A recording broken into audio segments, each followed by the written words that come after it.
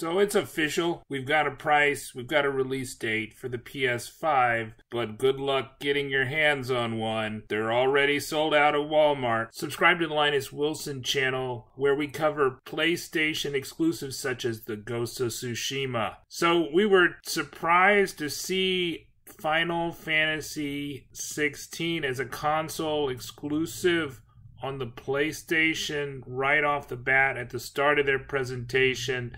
And after we got through all the games, such as a really interesting Harry Potter Hogwarts Legacy, they gave us the prices and they matched the price of the Xbox Series X at 4.99 for the disc version and 3.99 for the PS5 discless version. But they never told us where we would buy them and when we could start buying them. Now we can pick them up if we have the pre-order on November 12th in the US and other select countries and November November 19th in other locations. But can you actually buy one? Because Walmart sold out digitally hours after the release. GameStop has been taking pre orders in person only, although they have an online form. But I think if you're on the online form like I am, GameStop's not going to call you back. So I'm on the Walmart wait list. I'm on the Best Buy wait list.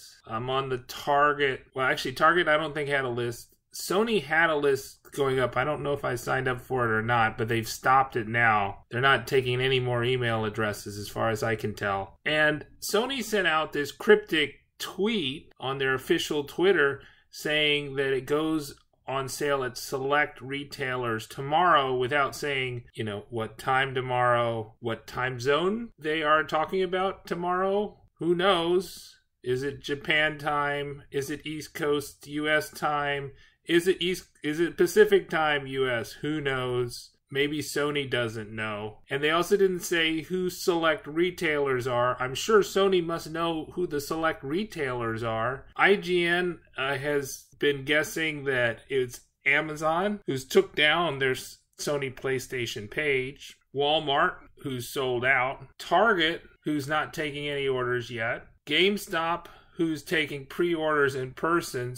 I'm not sure of the wisdom of that policy, given what's happening in the world. Between the time I started recording this and now, Target did go live and they sold out of both the digital only and the disc versions of the PS5, which are going for 399 and 499. So my guess is that if you think you're going to get it on the November 12th, I think you're wrong. Now there's I think there's a great chance that you'll be able to get a PS5 before Christmas, but on November 12th, uh, little iffy. This is my take. I think the PS5 is the better thing to get versus the Xbox Series X. Uh, I think it's going to sell way more than the Xbox Series X. Uh, there's arguments for which one's more powerful and will process games better. But, you know, the thing that Sony led with in their presentation, and it's the obvious thing to I think everybody, is that uh, the PS5 has exclusive games Xbox does not. And so you're buying a machine with the Xbox, but you're buying access to the best games with the PS5 in addition to a machine. And if they're priced the same, it's really no contest. But you can get the Xbox a, a couple days before the PS5. The PS5 is going to launch